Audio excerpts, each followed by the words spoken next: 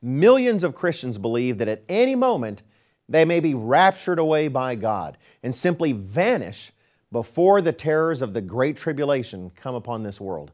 Non Christian friends and family members will simply find them gone, vanished instantly into thin air, as Christ takes them to heaven before the tribulation.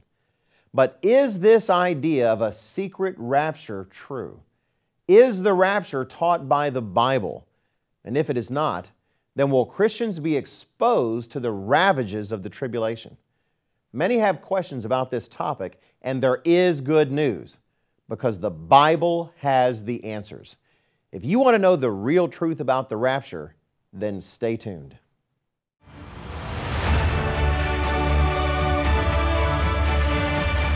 Warm greetings and welcome to Tomorrow's World. When we do one of our live Tomorrow's World presentations, many people come to us with questions. And one of the most frequent topics people ask about is the rapture. Is the rapture coming? When will the rapture happen? Now, of course, these questions assume the answer to two more fundamental questions. What is the rapture, and is it true? That is, will there actually be a rapture in the first place? Today, we're going to answer those questions from the Bible and give you the plain, simple Bible truth about the rapture. We're also going to give you an opportunity to request a free DVD that will contain even more information on this topic titled, Is the Rapture Your Incredible Future? Be sure to watch your screen for information on how to get this free DVD. Now, before we discuss what the Bible actually says or does not say about the rapture, we need to first understand what the rapture is. That can be a little difficult because when you say the word rapture, it's much like the word evolution. It can mean different things to different people. The most popular understanding of the rapture is that before Jesus Christ returns to rule the world, and before the worldwide time of agonizing trouble and suffering known as the Great Tribulation, Christians all over the world will be caught up or raptured into thin air, taken to heaven. Those on earth who are not Christians will be left behind wondering what has occurred, as people they knew suddenly vanish before their eyes. Chaos will ensue at first as people are left behind to sort out the mystery of their disappearance and what it means. Meanwhile, the Great Tribulation then begins, supposedly three to seven years before Christ's return, depending on whom you talk to. Many of you watching today may have seen this concept of the rapture portrayed in popular movies and in novels, such as the famous Left Behind series by Tim LaHaye and Jerry Jenkins. This idea of being mystically whisked away from the earth is often associated with the words of the Apostle Paul, who says in 1 Thessalonians 4, verses 16 through 17, For the Lord himself will descend from heaven with a shout, with the voice of an archangel, and with the trumpet of God, and the dead in Christ will rise first. Then we who are alive and remain shall be caught up together with them in the clouds to meet the Lord in the air. And thus we shall always be with the Lord. Now, most of those who believe in this secret rapture claim this verse is precisely what they are talking about. In the Latin Vulgate translation of verse 17, the Latin word for we shall be caught up is rapiemur, from rapere, from which is derived the word rapture. Well, I suppose that's it. If the Bible says that Christians are going to meet Christ in the air, then the rapture must be true. Case closed. Or is it? Many people read the Bible carelessly, often interpreting God's Word according to preconceived ideas and reading those ideas into the Bible instead of letting the Bible speak for itself. But God's Word warns against doing that, admonishing all of us in 2 Timothy 2, verse 15. Be diligent to present yourself approved to God, a worker who does not need to be ashamed, rightly dividing the word of truth. We want to rightly divide the word of truth, the Bible. What does the Bible really say about the rapture? What is the truth about this topic? And if the rapture theory represents a misunderstanding about the end times, then what can Christians truly expect according to the Word of God? When you examine it closely, the rapture belief contains several key elements that we can examine in the light of Scripture. Will Christians vanish around the world mysteriously and without explanation? Will Christians be caught up into the air years before Jesus returns to rule? Will Christians spend the years of the tribulation in heaven? The Bible answers every one of these questions clearly and explicitly. We'll find those answers together in the next part of our program. But first, let me pause and give you an opportunity to request this free DVD, Is the Rapture Your Incredible Future? This program is the first time we've ever offered this free DVD on television. It contains three programs explaining the truth of what God has in store for you straight from the pages of your own Bible. Whether you need a copy for yourself or for your loved ones, don't miss this opportunity to get your free DVD, Is the Rapture Your Incredible Future? We'll take just a moment to show you how to get your copy, and I'll be right back. Welcome back. In our last segment, we said that we would open the Bible and compare the belief about a secret rapture before the Great Tribulation to what God's own Word says. And I hope you'll do that with me. We don't want you to just believe us because we say something. We want you to check up on us and to believe us because it's what the Bible says. Check up on us, but check up on the other guys as well because many well meaning preachers out there are not telling you the truth. So, does the Bible teach that years before Jesus' return in visible glory to rule the world, Christians all over the world will vanish into thin air and secretly be caught up into heaven right before the global terror known as the Great Tribulation? Let's begin by examining more closely that passage that many rapture enthusiasts refer to in 1 Thessalonians chapter 4. But this time, let's start earlier in verse 13. Paul says, But I do not want you to be ignorant, brethren, concerning those who have fallen asleep, lest you sorrow as others who have no hope. For if we believe that Jesus died and rose again, even so God will bring with him those who sleep in Jesus. For this we say to you by the word of the Lord, that we who are alive and remain until the coming of the Lord will by no means precede those who are asleep. For the Lord himself will descend from heaven with a shout, with the voice of an archangel, and with the trumpet of God. And the dead in Christ will rise first. Then we who are alive and remain shall be caught up together with them in the clouds to meet the Lord in the air. And thus we shall always be with the Lord. Now, notice the important details in this passage that too many ignore. We aren't just talking about Christians flying up into the air. Paul says that this is the time of the resurrection of faithful Christians who have died or as he says, those who are asleep, who are soon joined by Christians still alive at Christ's return. Also, note in verse 16, for the Lord himself will descend from heaven with a shout, with the voice of an archangel, and with the trumpet of God. Does this event sound like a secret rapture? Some sort of quiet, secret action on Christ's behalf? or a secret return of Christ that only Christians are aware of? Personally, I don't think so. It sounds more like a public, triumphant announcement. But my opinions don't count. Let's look in God's Word for more details. Paul describes this exact same event, the resurrection of the dead Christians and rising to meet Christ in the air, in more detail in another passage. 1 Corinthians in chapter 15. Let's read there, starting in verse 50. Now, this I say, brethren, that flesh and blood cannot inherit the kingdom of God, nor does corruption inherit incorruption. Behold, I tell you a mystery.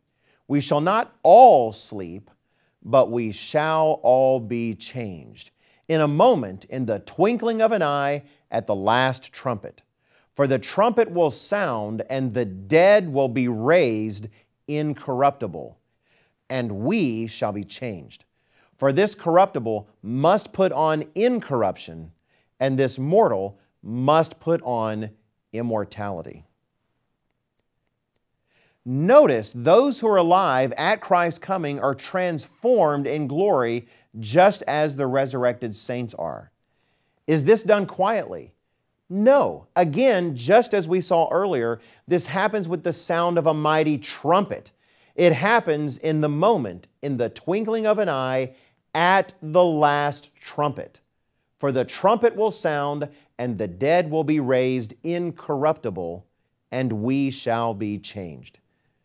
In fact, if we're rightly dividing God's Word, we see an important new detail. All of this happens not just at any trumpet, but at the last trumpet. A last trumpet implies a sequence of trumpets, with preliminary trumpets that precede this event. Is there any passage of Scripture that describes a series of trumpets occurring at the end time? Because if so, we then know when the resurrection and transformation of Christians is going to take place. Is it a secret rapture? In fact, the Bible does tell us when this series of angelic trumpet blasts takes place. We don't need to guess or to theorize. The Bible tells us plainly. In a moment, we'll locate the last trumpet and the resurrection and transformation of true Bible believing Christians precisely in the Bible and in end time events. We will see for ourselves if the truth matches the tale woven by rapture enthusiasts. But first, let me briefly give you another opportunity to request our free DVD, Is the Rapture Your Incredible Future? This program is the first time it's ever been offered on television, and you've likely never seen anything like these videos. There are no strings attached, and no one will ask you for a donation of any sort. It really is free. Request yours right now. In our last segment, we learned that it is at the last trumpet that Christians will be resurrected and transformed and will meet Jesus Christ in the air. But when does this happen? If we can locate this last trumpet event in prophecy, then we have answered the question of the rapture. And we can locate this event exactly. The book of Revelation gives us a very specific sequence of end time events that yet remain in our future.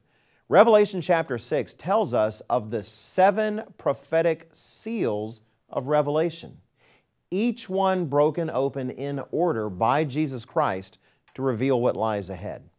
Verses 1 through 8 describe the first four seals, the famous four horsemen of the apocalypse symbolizing religious deception, great warfare, worldwide famine, and global pestilence and disease that will come upon the world to an extent never before seen. Speaking of these symbolic horsemen, Revelation 6 and verse 8 says that power was given to them over a fourth of the earth to kill with the sword, with hunger, with death, and by the beasts of the earth a fourth of mankind destroyed. The prophetic pathway continues then with the fifth seal, describing a great martyrdom of true Christians on the earth. In Matthew 24 and verse 21, Jesus describes this time saying, For then there will be great tribulation, such as not been since the beginning of the world until this time, no, nor ever shall be. This is the Great Tribulation, a two and one half year period so terrible that no other time before nor after will ever compare. After the tribulation, Revelation reveals that the sixth seal is opened and the heavenly signs take place. Miraculous cosmic signs in earth and space a great earthquake, the sun darkened, the moon red as blood, and the stars falling from the sky, and every mountain and island on earth shaken out of its place. These things announce that God Himself and Jesus Christ are about to personally intervene in world affairs and begin the day of the Lord's vengeance on earth. That time is described by the prophet Isaiah as the day of the Lord's vengeance, the year of recompense for the cause of Zion. This year long period of the day of the Lord begins when the seventh seal of Revelation is open. We read of this in Revelation chapter 8 and verses 1 and 2. When he opened the seventh seal, there was silence in heaven for about half an hour. And I saw the seven angels who stand before God, and to them were given seven trumpets. Finally, we see where a sequence of trumpets appears in the flow of end time events. After the rides of the four horsemen reach their fullness, after the great tribulation, and after the heavenly signs. Now we come to the series of trumpets prophesied by the Apostle Paul's last trump. And over the course of that year, the angels blow their trumpets, with each sequential trumpet blast bringing new levels of destruction on the earth and mankind. One third of the vegetation of the world's trees and grass burned up. One third of the seas become blood, and one third of the ships and marine life destroyed. One third of the earth's waters become bitter. One third of the sun, moon, and stars cease to shine. And the greatest gathering of human armies ever seen in the history of man clash against each other in an exchange so destructive that one third of mankind is wiped out in the resulting cataclysm. The day of the Lord will be awesome to behold but these are only the first six of the trumpets. The seventh trumpet, the last trump, is described in Revelation chapter 11 and verse 15. Then the seventh angel sounded, and there were loud voices in heaven saying, The kingdoms of this world have become the kingdoms of our Lord and of his Christ, and he shall reign forever and ever. Paul says that it is at this trump, the seventh and last trump, declaring the authority of the kingdom of God over all the world, that the resurrection occurs. When true and faithful Christians, past and present, are gathered from the ends of the earth, glorified with immortality, and brought to meet Christ in the air to become His bride and to participate alongside Him in the vanquishing of His enemies and the initiation of his rule in the kingdom of God. Jesus Christ himself personally describes this moment to his own disciples in Matthew chapter 24, verses 29 through 31. Immediately after the tribulation of those days, the sun will be darkened and the moon will not give its light. The stars will fall from heaven and the powers of the heavens will be shaken. Then the sign of the Son of Man will appear in heaven. And then all the tribes of the earth will mourn, and they will see the Son of Man coming on the clouds of heaven with power and great glory. And he will send his angels with a great sound of a trumpet, and they will gather together his elect from the four winds, from one end of heaven to the other. Now be honest with yourself. Does this sound anything at all like a secret rapture? All of these descriptions are consistent tribulation, heavenly signs, the trumpet blast, the revealing of Christ to the world, and the resurrection, gathering, and glorifying of true Christians, the children of God. There will be no mystery about what is happening, and it will not be done in a corner. People will not simply vanish without a trace into thin air, taken into heaven before the tribulation, leaving their loved ones wondering what has happened. All eyes will see and every ear will hear. The tale told by rapture enthusiasts may be sincere, but it is sincerely wrong. Still, does that mean that every Christian must endure the terrors of the tribulation? No, it does not. The Bible teaches that some will and some won't. If you want to know which Christians must experience the tribulation and which do not, as well as how those who do not are preserved, then stay here for the conclusion of our program. But first, let me take just one more break to give you a chance to request our free DVD, Is the Rapture Your Incredible Future? This program contains three full Tomorrow's World programs on topics you must understand your ultimate destiny, heaven, hell, and the resurrection, and will Christians be raptured? The Bible's message on these topics is more hopeful than almost anyone understands. And as we accelerate toward the end times, you need the hope they'll provide. It really is free, with no obligations and no donation is going to be requested. Here's how you can get your copy. Welcome back. At the beginning of our program, we summarized some major points about the popular belief of the rapture that we could examine in the light of Scripture. We asked, Will Christians vanish around the world mysteriously and without explanation? Answer No, they won't. Christians past and present will be glorified together when Christ visibly appears and his kingdom is declared. All eyes will see and all ears will hear. Will Christians be caught up into the air years before Jesus returns to rule? Answer also no. The resurrection of true Christians occurs at the very last trumpet, when Christ is revealed to the world as its ruler, only days before Satan is bound for a thousand years, as described in Revelation 20. Finally, will Christians spend the years of the tribulation in heaven? Again, none of these scriptures say anything of the sort. The idea of a secret rapture before the tribulation is simply false. At the same time, some Christians will be protected during the tribulation, but they will be protected here on earth. While God reserves many details to himself, he does make this plain in a number of verses. For instance, in Revelation chapter 12, we read of the church in the end times, symbolized by a woman, persecuted by Satan the devil, symbolized by a dragon like serpent. Starting in verse 14, we read, But the woman was given two wings of a great eagle, that she might fly into the wilderness to her place, where she is nourished for a time and times and half a time from the presence of the serpent. The time, times, and half a time here is the two and one half years of the tribulation and the year long day of the Lord we read about earlier.